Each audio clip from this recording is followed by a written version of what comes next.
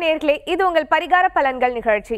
ஒவ்வொரு வாரமும் நம்மளோட நிகழ்ச்சியில நிறைய பரிகாரங்கள் மற்றும் அதனுடைய பலன்கள் என்னென்ன அப்படிங்கறத ராஜயோகம் டாக்டர் கே. ராம் சார் நமக்காக சொல்லிட்டு இருக்காங்க ஸோ இன்றைக்கும் நம்ம நிகழ்ச்சியில நிறைய பரிகார பலன்கள் மற்றும் ஆன்மீக ரீதியா நிறைய விஷயங்கள் சார் கிட்ட கேட்டு தெரிஞ்சுக்க போறோம். சார் நம்ம நிகழ்ச்சிக்கு வரவேற்றுடலாம் வணக்கம் சார் வணக்கம் ஓம் தத்புருஷாய வித்மகே வக்கரதுண்டாய தீமகி தன்னோ தந்தி பிரச்சோதயாத் பூவும் ஆதித்யாயஷ சோமாய மங்களாய புதயஷ குரு சுக்கர சனியப் யட்ச ராகவ கேதவ நமக.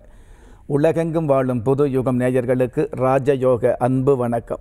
நிகழ்ச்சியை பார்த்துக்கிட்டு இருக்கிற உங்களுக்கு குலதெய்வ ஆசையும் நவகிரக அனுகிரகமும் முழுமையாக கிடைக்கணுங்கிற பிரார்த்தனையோடு உங்கள் ராஜயோகம் டாக்டர் கே. ராம். சார் நம்ம பரிகார பலன்கள் நிகழ்ச்சியில் பார்த்தீங்கன்னா ஒவ்வொரு வாரமும் நீங்கள் வந்து ஆன்மீக ரீதியாக இருக்கக்கூடிய பல சந்தேகங்களை நீங்கள் வந்து எங்களுக்காக வந்து விளக்கம் கொடுத்துக்கிட்டு இருக்கீங்க. அதே மாதிரி நிறைய பேருக்கு வந்து நிறைய மிஸ்கன்செப்ஷன் இருக்குது ஒரு விஷயம் நம்ம வந்து செய்கிறதே வேற ஏதோ ஒரு ரீசனுக்காக செய்கிறோமோ அப்படின்னு சொல்லி நம்மளாம் ஒரு கற்பனையில் இருப்போம். ஆனா அப்படி கிடையாது. இந்த விஷயம் இதுக்காக தான் செய்யறோம் அப்படிங்கறத ரொம்ப தெளிவா ஒவ்வொரு வாரமும் எங்களுக்காக நீங்க வந்து சொல்லிக்கிட்டு இருக்கீங்க. நிறைய விஷயம் நாங்க வந்து கத்துக்கிட்டு இருக்கோம் சார். அந்த வகையில் இந்த வாரம் இருக்கக்கூடிய சந்தேகம் என்ன அப்படின்னு பார்த்தீங்கன்னா ராகு கேது பற்றி தான் சார். ராகு கேது அப்படின்னா நிறைய பேருக்கு நிறைய சந்தேகங்கள் வந்துகிட்டே இருக்கும். திருமணம் சார்ந்த சந்தேகமும் இதுல வந்துகிட்டு இருக்கும். ஸோ ராகு கேதுனா என்ன? அதை பத்தி எங்களுக்கு ஒரு விவரமான விளக்கம் கொடுங்க சார். பொதுவாக ராகு கேது அப்படிங்கிறது. இப்போ நவகிரகங்கள் ஒன்பது கிரகங்களில் ஏழு கிரகங்கள் வந்து முன்னோக்கி தான் பயிற்சி ஆகும் ஒரு ராசியிலிருந்து அடுத்த ராசிக்கு பயிற்சி ஆகும் பொழுது முன்னோக்கி போகுது. ஆனால் இந்த ஷர்ப கிரகங்கள் என்று சொல்லக்கூடிய ஷாஜா கிரகங்கள் என்று சொல்லக்கூடிய ராகு கேதுவும் பின்னோக்கி தான் பயிற்சி ஆகிறாங்க அப்படிங்கிற விஷயத்தை நம்ம தெரிஞ்சுக்கணும். ஒன்று ரெண்டாவது இந்த ராகு கேதுவெல்லாம் வந்து பார்த்திங்க அப்படின்னா ஷர்ப கிரகமாக இருக்கிறதுனால பகல் நேரத்தில் விட இரவு நேர சிந்தனைகள் அதிகமாக வந்துட்டுருக்கோம் இரவு நேர உழைப்பத்தை அதிகமாக வந்துட்டுருக்கோம் சாதாரணமாகவே இந்த கணினி சம்மந்தப்பட்ட ஐடி சம்மந்த சம்மந்தப்பட்ட துறையில் உள்ளவர்களுக்கு இந்த ராகு எதனுடைய ஆதிக்கம் அதிகமாக இருக்கும். ஒருவருக்கு ராகு நல்லா இருந்தது அப்படின்னா அவர் தன்னுடைய வாழ்க்கையில் வந்து மிகப்பெரிய பொருளாதாரங்களை சந்திக்கக்கூடியது மிகப்பெரிய சீர்திருத்தங்களை செய்யக்கூடியது தன்னுடைய வாழ்க்கையில் வந்து மிகப்பெரிய யோகங்களை சந்திக்கக்கூடியது. இப்போ இருக்கிற ஒன்பது கிரகங்களுக்கு வந்து ஒவ்வொரு விதமான யோகம் அப்படிங்கிற விஷயம் நம்ம சாஸ்திரம் சொல்லியிருக்கு. ராஜயோகமாக இருக்கலாம் குருச்சந்திர யோகமாக இருக்கலாம் கஜேசரி யோகமாக இருக்கலாம் அல்லது வந்து பார்த்திங்க அப்படின்னா அதாவது பொதுவாக வந்து தர்ம தர்ம கர்மாதிபதி யோகமாக இருந்துகிட்டு இருக்கலாம். இந்த மாதிரி பல்வேறு யோகங்கள் இருந்துகிட்டு இருக்கும். ஆனால் புதையல் யோகம் அப்படிங்கிற ஒரு யோகத்தை மிகப்பெரிய அமைப்பான அந்த யோகத்தை மிக சிறப்பு வாய்ந்த அந்த யோகத்தை புதையல்னு வாயில் கேட்கும் பொழுதே காதில் கேட்கும் பொழுதே தன்னுடைய வாயில் சிரிப்பி வரக்கூடிய இந்த யோகத்தை கொடுக்கக்கூடிய ஒரே தகுதி ராகு பகவானுக்கு மட்டும்தான் இருந்துகிட்டு இருக்குது இல்லாமல் சிறப்பு இந்த ராகுக்கு இருந்துகிட்டு இருக்குது நம்ம ராகுவை நிறைய என்ன நினச்சிக்கிறோம்? ராகு இருந்தால் தோஷம் தோஷம்னு சொல்கிறோம் அது நம்ம நாட்டை பொறுத்தளவுக்கு அறகுறையாக ஜோசியத்தை வந்து மேலோட்டமாக பார்த்துக்கிட்டோ அல்லது சாஸ்திரத்தை மேலோட்டமாக பார்த்துக்கிட்டு நம்ம ராகு கெடுதல் கேது கெடுதல் நினச்சிக்கிட்டு இருக்கிறோம் ஒரு ஜாதகம்னு இருந்தது அப்படின்னா அதில் ஒன்பது கிரகங்கள் இருந்ததாகும். ராகு கெடுக்குது அப்படிங்கிறக்காக அதை எடுத்து வெளியில் விட முடியாது. எந்த கட்டத்தில் ராகு இருந்தாலும் அந்த கட்டத்தில் இருந்து ராகு தூக்கி நீங்கள் வெளியில் வைக்க முடியாது. கேதுவை தூக்கி வெளியில் வைக்க முடியாது. எல்லா மனுஷாளுக்கும் நல்லவராக இருந்தாலும் கெட்டவராக இருந்தாலும் வல்லவராக இருந்தாலும் அவருக்கு ராகு கேது இருக்க தான் செய்யும். அந்த ராகு கேது மூலமாக உங்களுக்கு கெடுதல் வருது அப்படிங்கிற மாதிரி நம்ம நினைக்க முடியாது. அந்தந்த ஜாதத்தில் இருக்கக்கூடிய அந்த ராசியில் இருக்கக்கூடிய அல்லது நவாம்சத்தில் வந்து தன்னுடைய நிலை வாங்கக்கூடியது அல்லது நட்சத்திர சாரம் எந்த நட்சத்திர சாரம் வாங்கியிருக்கதோ அதுக்கு தகுந்த மாதிரி நன்மைகளை கொடுக்கக்கூடிய அமைப்பில் தான் இந்த ராகு இருப்பார். எப்படி பார்த்தாலும் ஒரு வகையில் நன்மை கொடுப்பார். ராகுருடைய ஆதிக்கம் வந்து பதினெட்டு வருஷம். எந்த ஜாதகமாக இருந்தாலும். அப்படி பதினெட்டு வருஷம் வரக்கூடிய அந்த ராகு திசையில் வந்து பார்த்தீங்க அப்படின்னா அதாவது ஏதாவது ஒரு காலத்தில் அந்த ராகு திசை முடிகிறதுக்குள்ளே ஏதாவது ஒரு வகையில் அவருக்கு மிகப்பெரிய யோகத்தை கொடுத்துட்டு போகுது அப்படிங்கிறது தான் உண்மையாக இருந்துகிட்டு இருக்குது. அதாவது இப்போ இந்தியாவில் நம்ம ஜாதகம் பார்க்கும்போது பொண்ணுக்கு ராகு இருக்குது பையனுக்கு ராகு இருக்குது அப்படின்னு சொல்லி பயந்துட்டு இருக்கிறோம் இல்லைங்களா?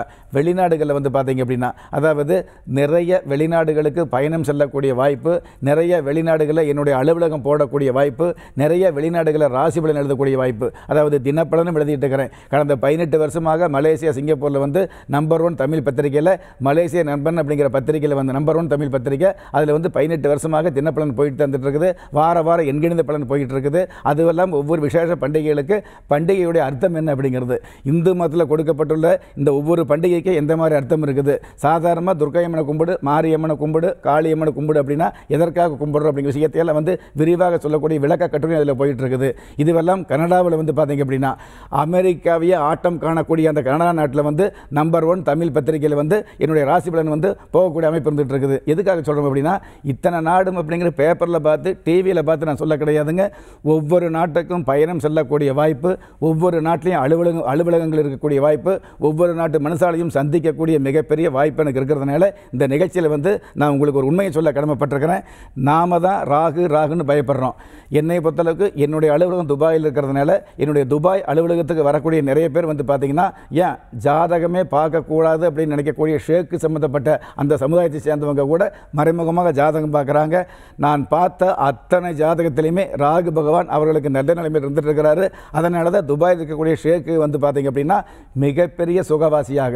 நீ சகஜமாக பார்த்தால் கூட அவங்க வந்து அவங்களுடைய நடை உடை தோரணை அவங்களுடைய வாழ்க்கையில் வந்து பார்த்தீங்கன்னா மிகப்பெரிய அம்சத்தில் மிகப்பெரிய யோகத்தில் இருந்துட்டு இருக்குது நம்ம வந்து பிறக்கும்போது கஷ்டப்படுறோம் அல்லது இடையில கஷ்டப்படுறோம் தன்னுடைய உழைப்பு தன்னுடைய திறமையை வச்சு நம்ம முன்னுக்கு வந்து ஒரு சொந்த வீடு வாங்குறோம் ஒரு தொழில் பண்ணுறோம் நல்லா இருக்கிறோம் அப்படிங்கிறத விட இந்த துபாயில் வந்து பார்த்தீங்கன்னா அந்த குறிப்பிட்ட சமுதாயத்தை சேர்ந்தவங்க எல்லோருமே நல்லா இருக்காங்க. நம்ம வந்து பார்த்தீங்க அப்படின்னா ஒரு நூறு பேர் பார்த்தோம் அப்படின்னா பத்து பேர் நல்லா இருக்கிறோம் பத்து பேர் கஷ்டப்படுறோம் பத்து பேர் பிரபலியமாக இருக்கிறோம் பத்து பேர் கல்யாணமாக இருக்குது பத்து பேர் கல்யாணம் ஆகலன்னு சொல்லி பிரிக்கிறோம். ஆனால் அந்த துபாயில் வந்து பார்த்தீங்கன்னா என்னுடைய ஆராய்ச்சியில் வந்து பார்க்குறது அந்த துபாய் நானே கவனிப்பேன். அத்தனை பேருமே நல்லா நல்லா தான் நல்லா தான் இருக்கிறாங்க. யாருக்கு கல்யாணம் ஆகலின்னு சொல்ல முடியாது அது யாருக்கு சொத்து இல்லைன்னு சொல்ல முடியாது சுகம் இல்லைன்னு சொல்ல முடியாது. இதில் இன்னொரு உண்மை துபாயில் குறிப்பிட்ட சமூகத்தை சேர்ந்தவங்க நீங்கள் ஏழையாக இருந்தீங்கன்னா அந்த துபாய் அரசாங்கமே உங்களை தேடி வந்து அந்த சமூகத்தில் உள்ளவங்களுக்கு சொந்த வீடு இனாமா தருது. எதுக்காக? தன்னுடைய சமுதாயத்தை சேர்ந்தவங்க ஏழையாக இருக்கக்கூடாது அப்படின்னு ஒரு கௌரவத்துக்காக நிலைநாட்டுது.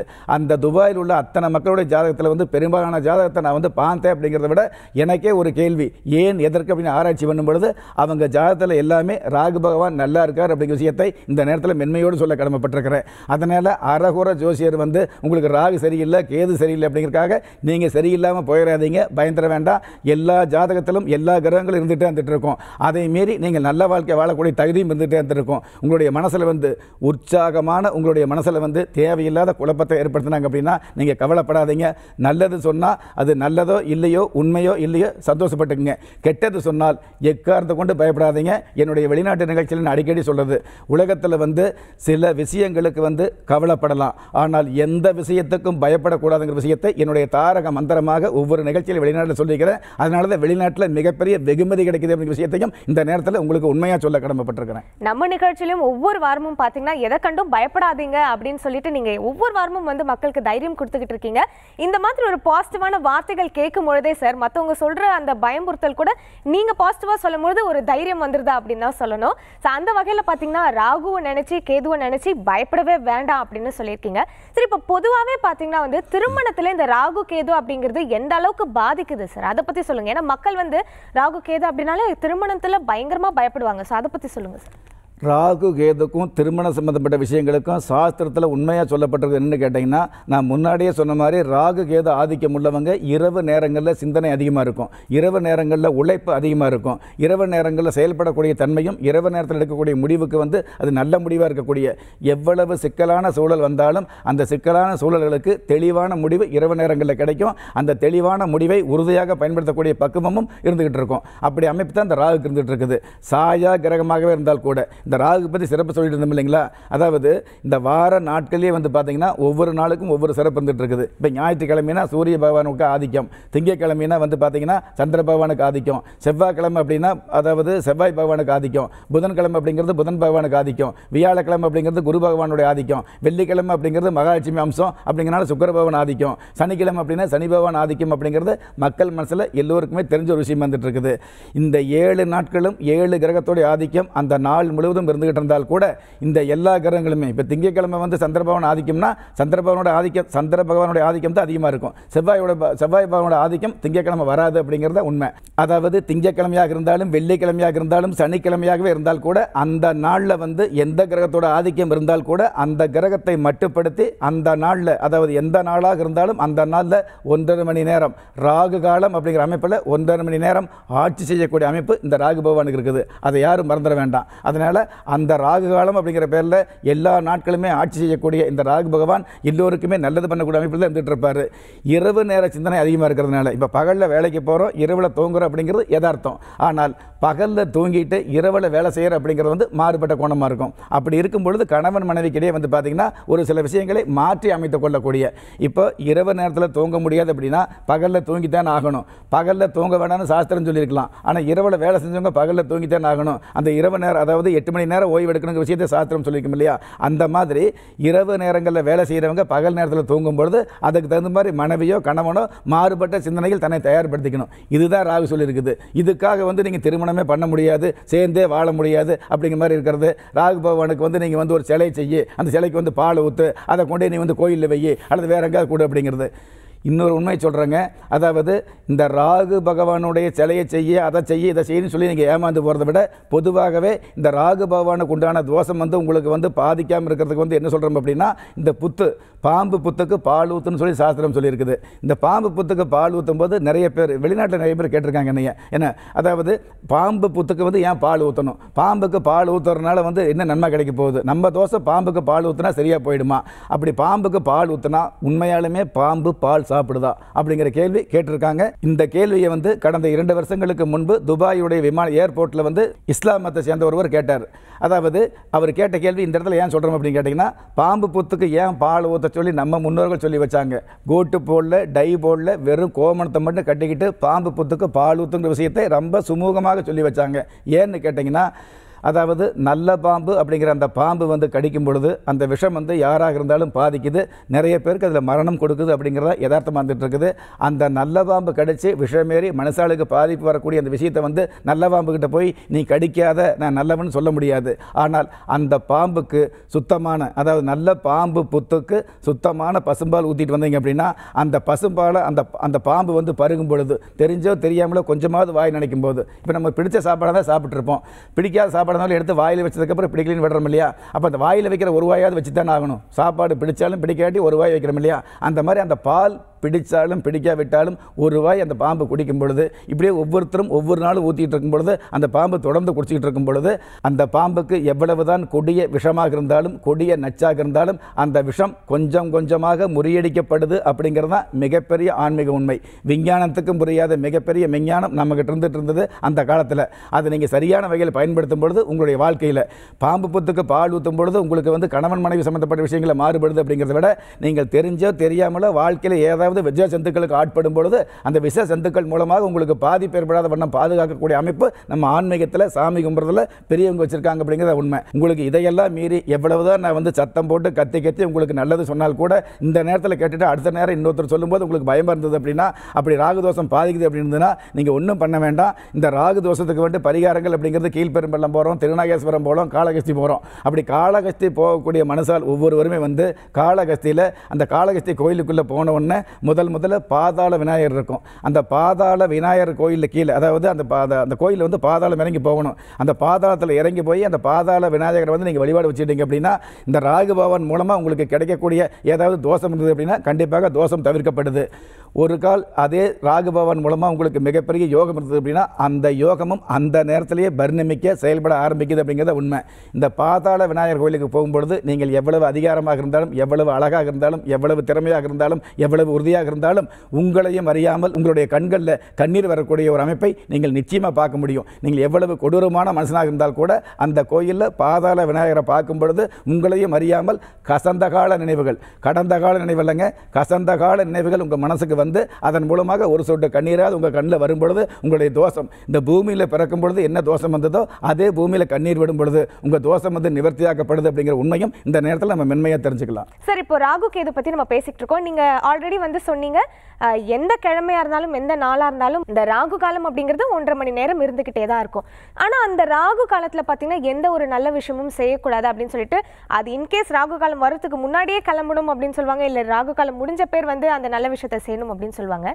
ஆனா ராகு காலம்ல ஒரு நல்ல விஷயம் செஞ்சா அது கெடுதலாக ஆகுமா? இல்லை ஒன்றும் பிரச்சனை இல்லைங்களா சார்? அதை பற்றி சொல்லுங்கள் அதாவது எந்த ஒரு ஜாதகத்தில் ராகு பகவான் மேச ராசியில் ரிஷப ராசியில் கடக ராசியில் கன்னி ராசியில் விருச்சிக ராசியில் மகர ராசியில் இருக்கிறாரோ அந்த ஜாதகர் இந்த ராகு காலத்தில் தான் சில காரியங்கள் செய்யணும். அப்போ தான் அவருக்கு புதையல் யோகம் கிடைக்குதுங்கிற ஒரு உண்மையை நம்ம நிறைய பேர் மறந்துடுறோம் அல்லது மறக்கடிக்கப்படுறோம் அப்படிங்கிறத எதார்த்தம் ஆனால் கண்டிப்பாக ராகு காலத்தில் வந்து நீங்கள் ஒதுக்கி ராகு காலத்தை ஒதுக்கி வைக்கணும்னு கிடையாது.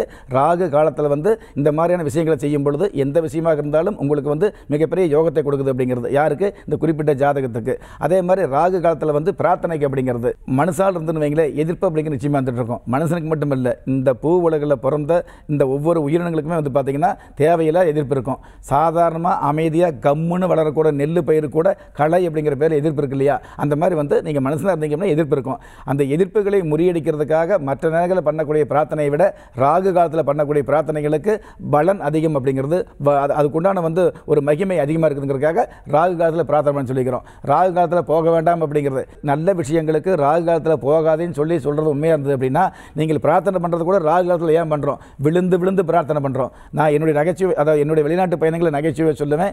நீ விழுந்து விழுந்து பிரார்த்தனை பண்ணுறதை விட கொஞ்சம் உளுந்து தானம் பண்ணி பிரார்த்தனை பண்ணு அப்படிம்பேன். எப்போ ராகு காலத்தில் வந்து உளுந்து தானம் பண்ணி பிரார்த்தனை வச்சுக்கிட்டீங்க அப்படின்னா உங்களுடைய வாழ்க்கையில் நீங்கள் எழுந்து நிற்கக்கூடிய தகுதியை நிச்சயமாக அடை அடைய முடியுங்கிறது தான் பொதுவான விஷயம். அதே மாதிரி இதே ராகு பகவான் வந்து குருவோட சேர்ந்தது அப்படின்னா உங்களுக்கு நல்லதான் கொடுத்துட்டு இருக்குது இதே ராக் பகவான். சனி பகவான் சனி பகவான் எல்லோருமே சனி பகவானை பற்றி பேசுறதுக்கு உச்சரிக்கிறதுக்கே பயப்படுறோம் இல்லையா? அந்த சனி பகவானோடு இந்த ராகு பகவான் சேர்ந்தார் அப்படின்னா பிறகு சனி பாம்பிரண்டும் பிற்பகுதி மேன்மை தரும் அப்படிங்கிறது. இதனுடைய அர்த்தம் என்னன்னு கேட்டீங்க அப்படின்னா அதாவது இந்த சனி பகவானும் இந்த ராகு பகவானும் எந்த ஒரு ஜாதகத்தில் சேர்ந்திருக்குதோ அந்த ஜாதகர் பிற்பகுதியில் பெருவாரியான அதிகாரம் பெருவாரியான செல்வம் பெருவாரியான பிரபல்யங்களை சந்திப்பார் அப்படிங்கிறது உறுதிங்கிறத சாஸ்திரம் சொல்லி வச்சிருக்குது. நீங்கள் எந்த ஜாதகம் இருந்தாலும் பாருங்க அந்த ஜாதகத்தில் சனி ராகு சேர்ந்தால் அவர் எப்படியாவது மேலே வந்துடுவார் அப்படிங்கிறது தான் பொதுவான விஷயம் வந்துட்டு இருக்கு.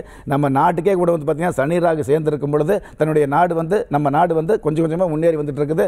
வல்லரசு அப்படிங்கிற தகுதியை எட்டி பிடிக்கக்கூடிய தகுதி இருந்துட்டு இருக்குது. இதே சைனாவில் வந்து பார்த்தீங்கன்னா என்னைக்கோ பிற்தகுதி பின்தங்கி இருந்தால் கூட இன்னைக்கு முன்னாடி நாடாக மிகப்பெரிய வல்லரசுக்கு சவால் விடக்கூடிய நாடாக தான் வந்திருக்குது. ஏன்? கடந்த வாரத்தில் வந்து பார்த்தீங்கன்னா அமெரிக்காவை விட பண வசதியில் மிஞ்சிய நாடாக இருந்துட்டு இருக்குது. இப்படி திடீர்னு வந்து பண வசதி கிடைக்கிறதுக்கு ஒரு நாட்டில் வந்து எண்ணெய் வளம் அதிகரிக்கிறதுக்கு ஒரு நாட்டுடைய பொருளாதார வளம் அதிகரிக்கிறதுக்கு இந்த ராகு பகவான் தான் முக்கியமாக இருந்துட்டு இருக்குது. பத்திரிகை துறையாக இருந்தாலும் சரி மீடியா துறையாக இருந்தாலும் சரி மீடியாவில் சொல்லுவோம் இல்லையா? அதாவது வந்து சுக்கரன் நல்லா இருந்தால் நம்ம வந்து மீடியாவில் வந்துடலாம் கலைத்துறையில் வந்துடலாம் சினிமாவில் வந்துடலாம் அப்படின்னு. சுக்கரன் நல்லா இருந்து ராகும் நல்லா இருந்தால் தான் வர முடியும். சுக்கரன் நல்லா இருந்து ராகு கெட்டு போயிருந்ததுன்னா கண்டிப்பாக நீங்கள் கலைத்துறையில் வந்து வந்துக்கலாமே தவிர்த்து நீங்கள் பிரபலியமாக இருக்க முடியாது. பிரச்சனையோடு தான் இருந்துட்டு இருக்க முடியுங்கிறத உறுதியாக சொல்ல முடியும். இதே ராகு பகவான். எந்த ஒரு ஜாகத்தில் இந்த ராகு பகவான் வந்து அதாவது சுக்கர பகவானோடு சேர்ந்து இருந்துன்னு அந்த அந்த மாதிரி இருக்கக்கூடியவங்களுக்கு திருமணம் சம்மந்தப்பட்ட விஷயங்களை பாதிப்பு வருதுங்கிறது இயற்பு இது திருமணம் மட்டுமல்ல இந்த காலத்தில் வந்து காதல் அப்படிங்கிற விஷயத்திலேயே. காதல் அப்படிங்கிறது நல்லவங்களாக இருப்பாங்க. அதாவது ரொம்ப நல்லவங்களாக உள்ளவங்க தான் காதல் சம்மந்தப்பட்ட விஷயங்களில் வந்து வயப்படுறாங்க. காதல் வயப்படுறாங்க அப்படிங்கிறது எதார்த்தம் அந்த நல்லவங்க தான் வந்து பார்த்தீங்க அப்படின்னா தேவையில்லாத சிக்கலுக்கும் ஆட்படுறாங்க அப்படிங்கிறது எதார்த்தம் ஆனால் ஒரு ஜாதகத்தில் ராகு பகவானும் சுக்கர பகவானும் சேர்ந்தது அப்படின்னா இந்த நல்ல காதல் அப்படிங்கிறத விட கள்ள காதல் உருவாகக்கூடிய வாய்ப்பு அதிகமாக வந்துட்டு இருக்கும். இது நம்ம நிகழ்ச்சியில் சொல்லும்போது சில பேருக்கு வருத்தமாக இருந்திருந்தால் கூட நீங்கள் நல்லவராகவே இருந்தால் கூட உங்களுடைய கணவரோ அல்லது உங்களுடைய மனைவியோ வல்லவராகவே இருந்தால் கூட மாற்றானுடைய அந்த உருவத்தின் மேலேயோ மாற்றானுடைய வசதி வாய்ப்புகள் மேலே நம்ம வந்து காதல் கொண்டு வரக்கூடிய. இப்போ நிறைய வீடுகளில் பாருங்கள் நான் சொல்லக்கூடிய விஷயத்தை வந்து தவறு எடுக்க வேண்டாம். நிறைய விஷயங்களில் பாருங்கள் நல்ல மனைவியாக இருப்பாங்க நல்ல கணவராக இருப்பாங்க ஒற்றுமையாக வந்துட்டு இருப்பாங்க. பக்கத்து வீட்டில் ஒரு கார் வாங்கிட்டு வந்துருவாங்க. அதுக்கப்புறம் இவங்க ஒற்றுமை வந்து இதா ஒரு இங்கே ஒற்றுமையில் வந்து தேவையில்லாத குந்தகம் ஏற்படும். அவர் வந்து பாருங்கள் சாதாரணமாக பிஸ்னஸ் ஆரம்பிச்சார். இன்றைக்கி வந்து பார்த்தீங்கன்னா ஒரு கார் வாங்கிட்டார். நம்ம வந்து இதே ஓட்ட பைக் வச்சுட்டு இருக்கிறோமே இப்படி போல என்ன பண்ணுறது உங்களை கட்டி நான் என்ன சுகத்தை கண்டு அப்படின்னு ஆரம்பித்து அது தேவையில்லாத வாக்குவாதமாக வரும். அந்த மாதிரி திடீர்னு ஒருவர் பிரபலியமாகிறதுக்கு மீடியாவில் கூட வந்து பாருங்கள் சின்னத்திரையாக இருக்கட்டும் வண்ணத்திரையாக இருக்கட்டும் திரைத்துறையாக இருக்கட்டும் சாதாரணமாக அதாவது வந்து ஒருவர் நடிக்க வரணும்னு சொல்லி முயற்சி பண்ண வருவார். அவர் நடிக்க முடியாது வேறு ஏதோ ஒரு வேலை செஞ்சு கிடைச்ச வேலையை செய்யலாம்னு செஞ்சுட்டு இருப்பார். இன்னொரு வந்து கிடைச்ச வேலையை செஞ்சுட்டு இருக்கலாம். தன்னுடைய உருவத்துக்கும் நடிப்பும் கேமராவுக்கும் சம்மந்தமே இல்லை அப்படின்னு தெமேன் இருப்பார். சம்மந்தம் இல்லாமல் அவர் வந்து வந்து ஏதோ ஒரு வகையில் வந்து அந்த சம்மந்தப்பட்டவர் வராமல் இருக்கும்பொழுது இவர் நின்று பேச வேண்டியது வரும். அப்போ இவர் வந்து பார்த்தா மீடியாவில் வந்து பிரபலியமாவார். இவருடைய முகம் வந்து பிரபலியமாகும். இதுவெல்லாம் எது செய்யுது அப்படின்னா ராகுதான் செய்யும். சுக்கரை வந்து கொண்டு வருவார். ஆனால் பிரபலியம் அப்படிங்கிறது ராகுதம் கொடுப்பார் அப்படிங்கிறது. அதனால் உங்களுடைய காதல் நல்ல காதலாக இருந்தால் கூட கள்ள காதல் அப்படிங்கிற விஷயத்தை ஏன் திரும்ப திரும்ப சொல்லணும் அப்படின்னா இன்றைக்கி நிறைய பேர் வந்து சாதாரணமாக பேட்டி எடுத்து பாருங்கள் உங்களுக்கு யாரை பிடிக்கும் அப்படின்னு கேட்டிங்கன்னா பொதுவாகவே வந்து அந்த காலத்தில் யார் பிடிக்கும்னா கண்ணகின்னு சொல்லுவாங்க சீதைன்னு சொல்லுவாங்க. அது ஒரு விஷயம் இருந்தது. இன்றைக்கி வந்து யாரை பிடிக்கும் அப்படின்னா ஏதோ ஒரு நடிகரை அதை நிறைய பவுடர் பூசிட்டு ஆடுறவங்களை பிடிக்கும்னு சொல்லக்கூடிய உலகமாக தான் அந்த உலகம் வந்துட்டு இருக்குது. பக்கத்தில் நிற்கக்கூடிய கணவரையோ மனைவியோ தன்னுடைய தங்கையோ தன்னுடைய தாயாரையோ பிடிக்கும்னு எந்த ஒரு மனுஷாலும் சொல்லி நம்ம கேள்விப்படுறதில்ல. ஆனால் வளையத்தில் மட்டும் வந்து பார்த்தீங்கன்னா ஒன்றா நின்று ஃபோட்டோ போட்டுக்கிறோம். ஆனால் கேள்வி கேட்கும் பொழுது எங்கேயோ இருக்கிற முகம் தெரியாத வெறுமனே அந்த ஃபிலிமில் பார்க்கக்கூடிய அந்த ஃபிலிமில் உள்ள அந்த நபரை தான் எனக்கு பிடிச்சவர். அந்த நடிகை தான் எனக்கு பிடிச்சதுன்னு சொல்லக்கூடிய ஒரு யதார்த்தத்தை தான் இந்த நேரத்தில் பதார்த்தமாக சொல்கிறேன் தவிர்த்து நீங்கள் யாரை சொன்னாலும் எனக்கு பொறாமை இல்லை. ஆனால் உங்களுடைய வாழ்க்கையில் உங்களுக்கு பொறுமை இருக்கணும்.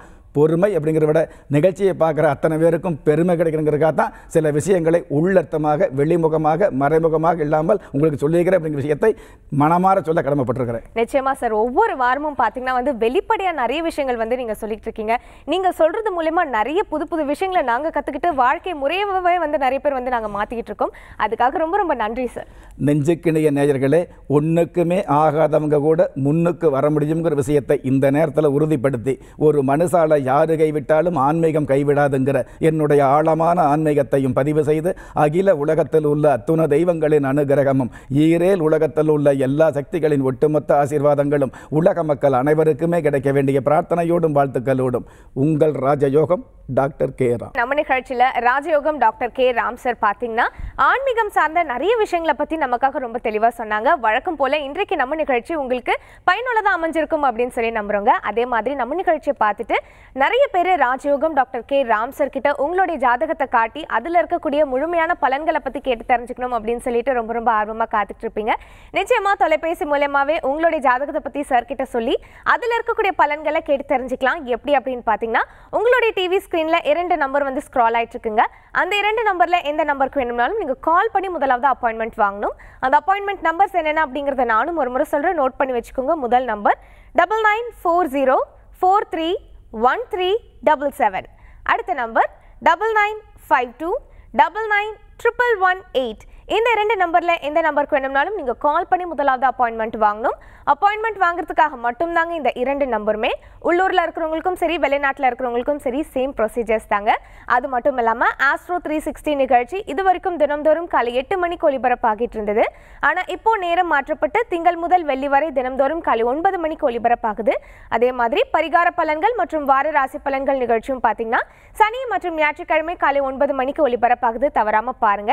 இன்கேஸ் டிவியில் பார்க்கறதுக்கு மறந்துட்டீங்க அப்படின்னா எந்த நேரமானாலும் யூடியூப்ல நீங்க பார்க்கலாம் மீண்டும் அடுத்த வாரம் நிகழ்ச்சியில் சந்திக்கலாம். அதுவரை நன்றி வணக்கம்.